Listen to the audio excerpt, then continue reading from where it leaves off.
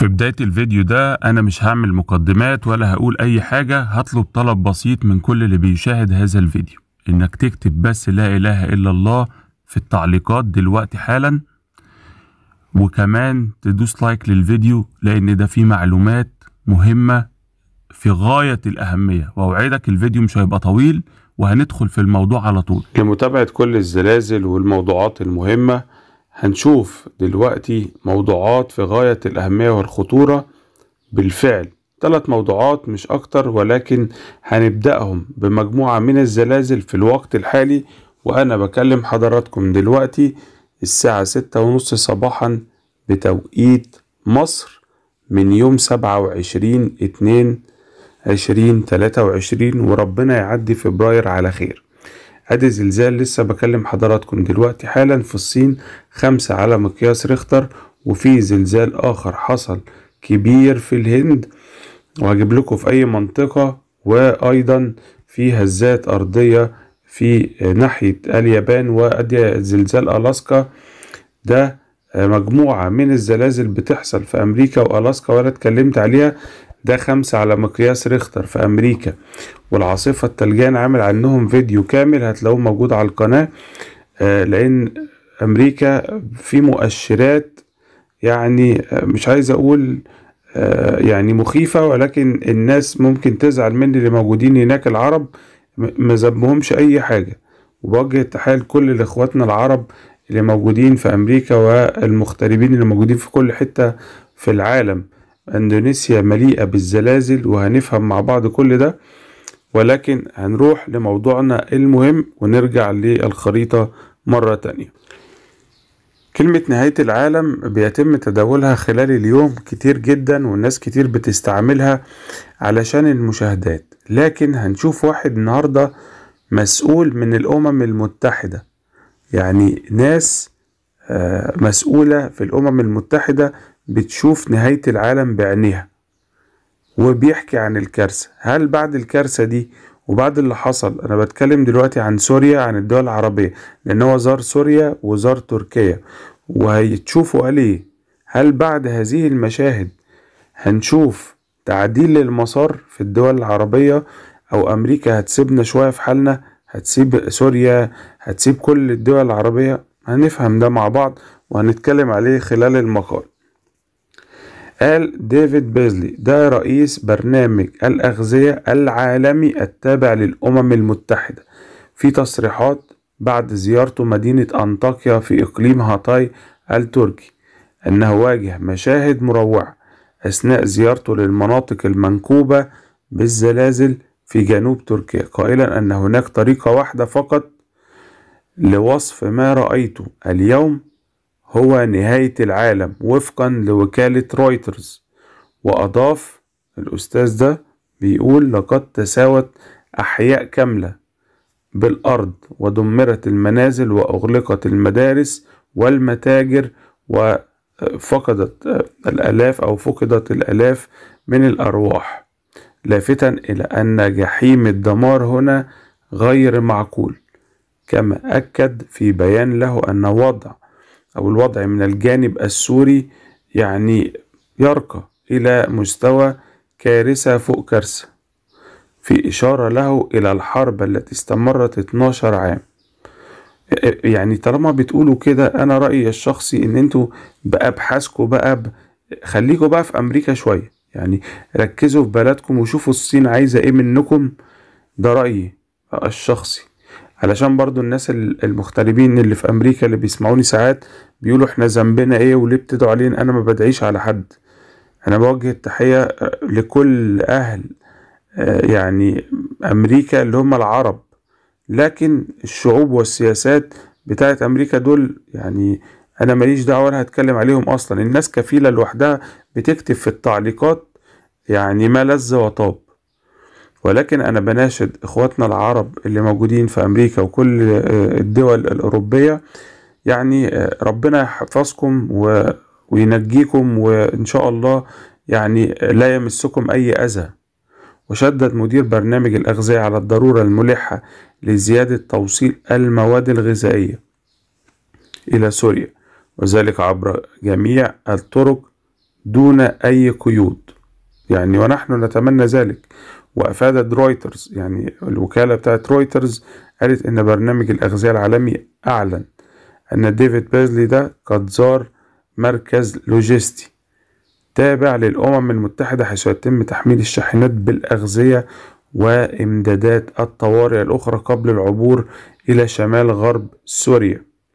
وفي السادس من شهر فبراير الجاي ضرب الزلزال اللي أنتوا عارفينه وكلنا عارفينه ومجموعة بعدها من الزلازل ولكن هنشوف برضو مقال مهم جدا جدا عشان الناس اللي قلقانة والناس اللي بتتكلم عن الباحث الهولندي و... وإيه علاقة الباحث الهولندي ب اللي هتكلم عليه دلوقتي ونهاية العالم وهذه الأشياء. تعالوا مع بعض نشوف وكلام ناس متخصصين. زي ما أنتم شايفين كده زلازل وكائنات فضائية وتصادم كواكب البحوث الفلكية بتكشف حقيقة اقتراب نهاية العالم. حلو الكلام ده؟ طيب. البحوث الفلكية عن تنبؤ العالم الهولندي بالزلازل تنجيم ومش عايزين نديله أكبر من حجمه. ده مش كلامي مصدر الخبر أهو. موقع اسمه صدى البلد وموجود على مواقع تانية كتير. موقع محترم صدى البلد ويعني بيجيب الأنباء بالفعل. ولكن هنشوف المصدر الدكتور جيولوجي بيقول زلزال آه 92 سوف يتكرر مرة أخرى بعد 19 عام. البحوث الفلكية تلك هي حقيقة وجود الكائنات الفضائية وهنشوف كل ده مع بعض. علشان بس البحوث الفلكية ممكنة في يد الله وليس بمقدور بشر تحديد المواعيد. كلام يعني في غاية الأهمية والناس لازم توعى وتشير الفيديو. أقسم لكم بالله أنت بتشير الفيديو و وبتخليه يروح لأكبر عدد من الناس. أنت بتشارك في الدعاء وبتشارك في توعية الناس. وما زال زلزال تركيا وسوريا المدمر والذي حدث صباح يوم 6 فبراير زي ما أنتم عارفين بيثير الذعر. فيتحدث العديد في الوقت الحالي أن تأثير الهزات الأرضية في تركيا.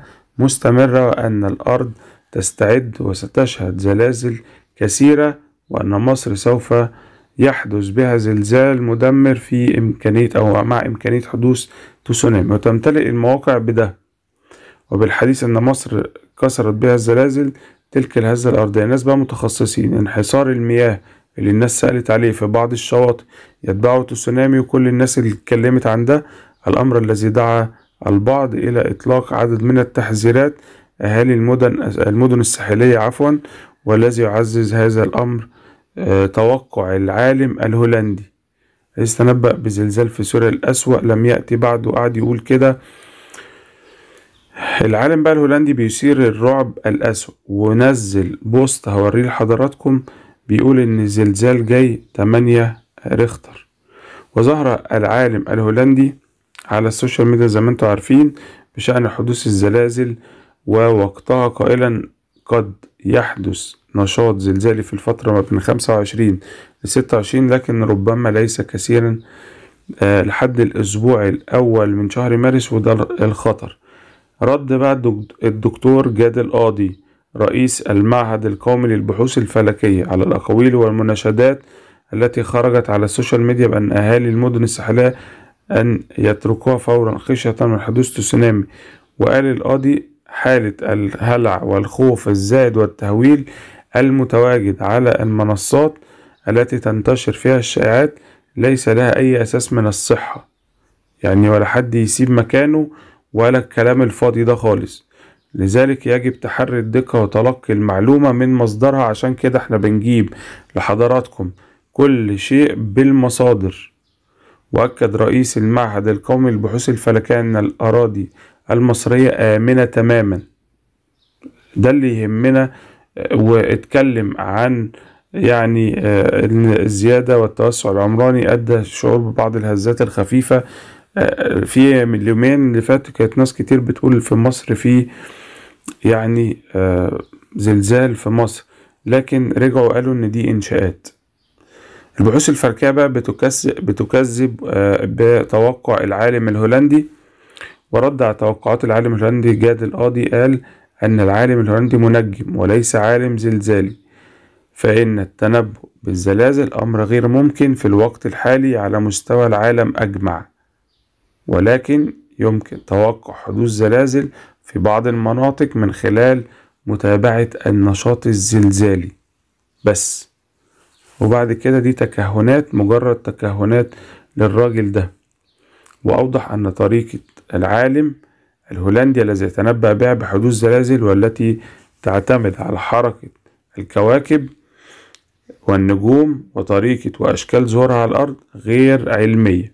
أدي الرد يا جماعة للناس المسؤولة والناس اللي مفروض هي اللي بتقول كل حاجة. الراجل ده وادي موضوع الكائنات الفضائية. أوضح أن يتم رصد كائنات ولم يتسنى الوصول إلى أي كائن غير بشري حتى بعد تطور التكنولوجيا الكبير يعني الناس اللي بتقعد تقول في كائنات فضائية أنا بقول لكم اللي هو قاله. لحد دلوقتي ما مسكوش أي حاجة غير فضائية. وأدي المواضيع كلها يا جماعة عشان الناس برضو إيه وضحنا لحضراتكم كل شيء. ولكن هجيب البوست بتاع العالم. أو الراجل الباحث الهولندي اللي قال موضوع الزلزال الكبير. زي ما أنتم شايفين كده خريطة الرعب الحمراء وده عملنا عنه فيديو ولكن الجديد بقى يتوقع زلزال جديد بقوة 8.5 ريختر ويحذر الصحفيين. يعني الراجل يعني المقالة أهو وأدي البوست بتاعه لكن يعني الراجل ده أنا جبت لكم رأي العلماء عن الموضوع وجبت لكم كل حاجة وانتوا عليكم يعني التحديد. ولكن العلم عند الله عن يوم القيامة وعن الناس اللي هم غير بشريين وعن هذه النوعية. ولكم مطلق الحرية في التعليقات مدام بنحترم بعضنا البعض. ولا تنسوا الدعاء وذكر الله. بشكركم جدا. ما تنسوش شير الفيديو اعملوا مشاركة بعتوا على الواتساب حطوا على الفيسبوك حطوا في كل حتة عشان خاطر الناس بالفعل تشارك بالرأي والدعاء. شكرا لكم أسيبكم على خير وأشوفكم على خير والسلام عليكم ورحمة الله وبركاته.